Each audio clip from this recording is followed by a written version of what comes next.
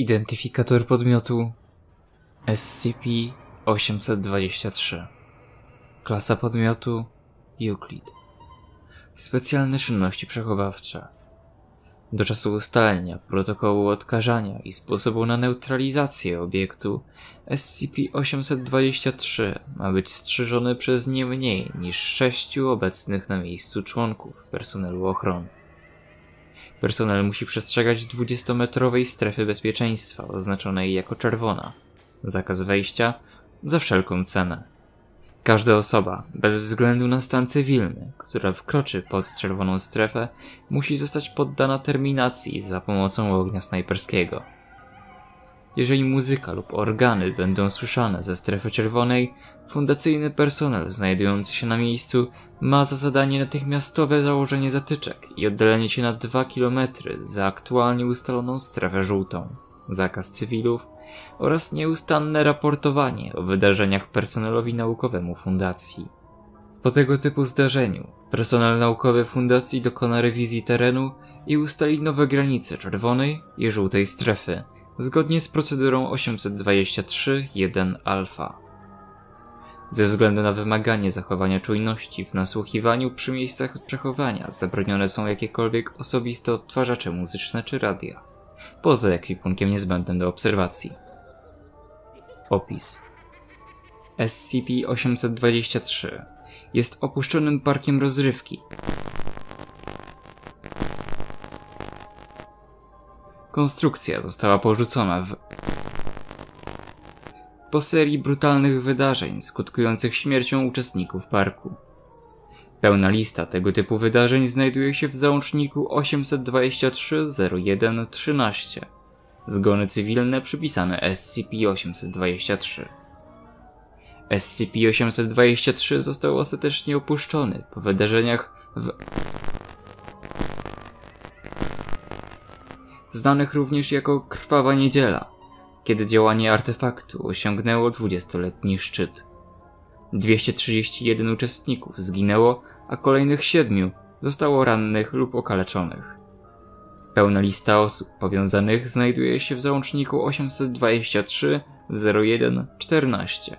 Zgony cywilne przypisane wydarzeniu 823 99 Euclid. Lecz zaliczają się do nich Dwie osoby, mężczyzna i kobieta, złączeni razem w wielu miejscach na ciele, po wyjechaniu z przejażdżki po ciemku zwanej tunelem miłości. Martwi. Jedna osoba, nosząca uniform maskotki wesołego hipcia, uduszona. Jama ustna, tchawica i płuca były wypełnione włóknistą substancją, później sklasyfikowaną jako plusz wypełniający strój maskotki. Martwy. 15 osób znalezionych na kolejce górskiej, koszmar na wysokości. Wszyscy pozbawieni głowy za pomocą tępego narzędzia. Świadkowie twierdzili, że zgony nie nastąpiły jednocześnie, a po dwie osoby począwszy od pierwszego rzędu, kończąc na ostatnim. Analiza kryminalistyczna wykazała, że każda seria zgonów była przepisana do jednego okrążenia po atrakcji. Martwi. Jedna osoba odnaleziona pod kolejką górską koszmar na wysokości. Śmierć spowodowana złamaniem karku i masywnymi obrażeniami czaszki w wyniku upadku z 50 metrów w pozycji odwróconej.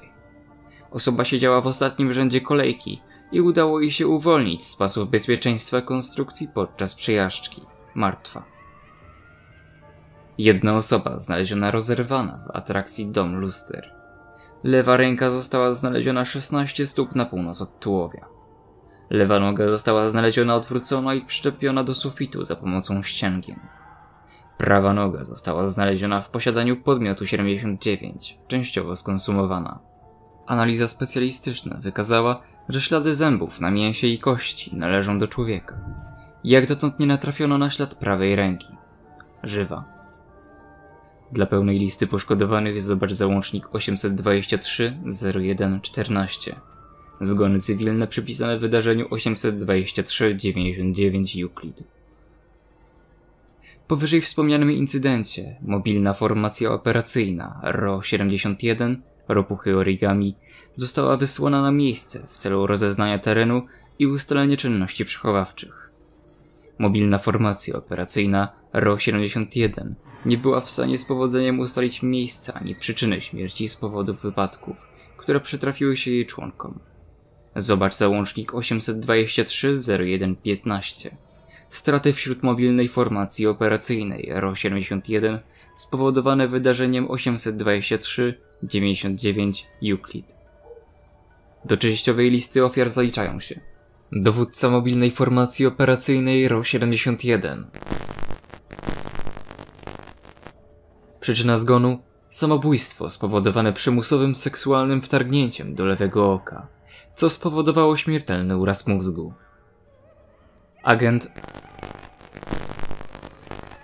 Przyczyna zgonu samobójstwo. Został on znaleziony w pobliżu rozbrojonej amunicji, w tym osłonek i pocisków. Gramów prochu strzelniczego w liczbie zgodnej z rozbrojoną amunicją zostało znalezione w żołądku i jelitach agenta. Agent. Przyczyna zgonu samobójstwo. Został on znaleziony z uszkodzonymi płucami i złamaną szczęką. Brakujące zęby zostały później znalezione w płucach i tchawicy.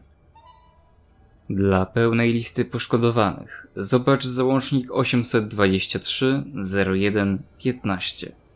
Straty wśród mobilnej formacji operacyjnej RO-71 spowodowane wydarzeniem 823-99 Euclid. Po śmierci 50% członków mobilnej formacji operacyjnej, będący na miejscu nadzorca nakazał przerwanie misji. Protokół przechowawczy został zmieniony z pozyskania na przechowywanie na miejscu.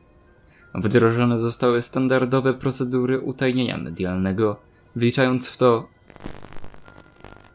dodatek 823.01 Destrukcja placówki.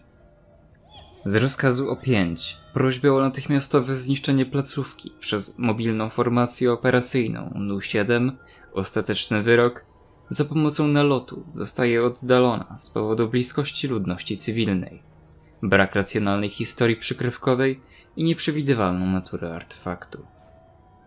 Dodatek 823-02 Czerwona strefa Do dnia dzisiejszego SCP-823 przeszedł trzy renowacje granic strefowych. Czerwona strefa, zakaz wejścia, zwiększyła się o 5%.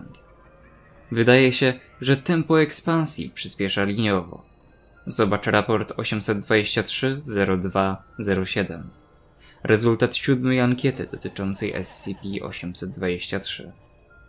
Prośba o reklasyfikację na Keter. Dodatek 823-03.